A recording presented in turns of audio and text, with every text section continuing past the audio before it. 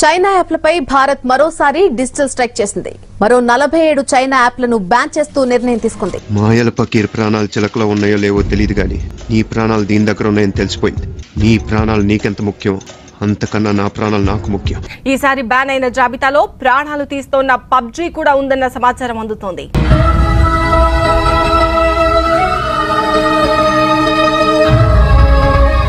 ఇప్పటికే యాభై తొమ్మిది యాప్లపై భద్రతా కారణాల దృష్ట్యా నిషేధం విధించింది భారత ప్రభుత్వం. తాజాగా మరో నలభై ఏడు యాప్లను నిషేధించి చైనా కంపెనీలకు షాక్ ఇచ్చింది.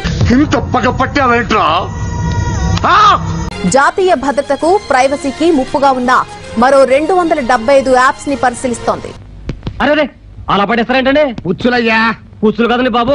అవి మచ్చలు. ఉచ్చులకి మత్తలకి తేడా తెలియదు అనుకుంటున్నావా? PUBG players Ludo World app వినియోగదారులకు బ్యాడ్ న్యూస్. భారతదేశం చైనాల మధ్య ఉద్రిక్త పరిస్థితులు కొనసాగుతూ ఉండడంతో పబ్జీ సహా మరిన్ని యాప్లను బ్యాన్ చేసింది కేంద్ర ప్రభుత్వం. పదండి అలా బయటకు వెళ్ళి మాట్లాడుకుందాం.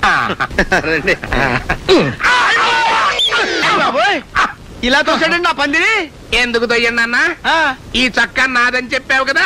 చెప్పాను తప్పే ఉందండి. తప్పు లేదు ఇప్పటికే ఇండియాలో బాగా పాపులర్ అయిన టిక్ టాక్ హెలో లాంటి యాభై తొమ్మిది యాప్స్ని భారత ప్రభుత్వం బ్యాన్ చేయడం ప్రపంచవ్యాప్తంగా సంచలనం సృష్టించింది. భారత్లో టిక్ టాక్ను బ్యాన్ చేసే సమయానికి ప్రపంచ వ్యాప్త డౌన్లోడ్లలో ముప్పై శాతం భారత్లోనే డౌన్లోడ్ అయినట్టు తెలుస్తోంది. దీంతో బ్యాన్ అయిన మొత్తం చైనా యాప్ల సంఖ్య తొంభై ఐదుకు చేరింది. గురుగారు అందుకే మా ఎల్ఐసి ఉంది. అరే నువ్వు కదలకురా కదలదు కదలొద్దు నువ్వు. ఎందుకు సార్? మూల కారణం నువ్వురా? భారత ప్రభుత్వం నిషేధం విధిస్తుందని భావిస్తున్న నలభై ఏడు యాప్స్లో పాపులర్ గేమింగ్ యాప్స్ అయిన పబ్జీ మొబైల్ నిషేధం విధించింది భారత ప్రభుత్వం.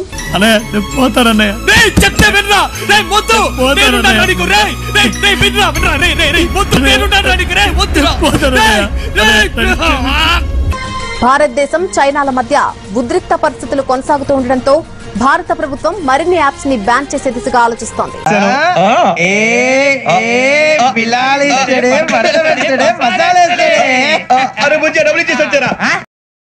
ఉండకూడదు ఉండకూడదు ఉండకూడదు ఉండకూడదు ఉన్నాయి.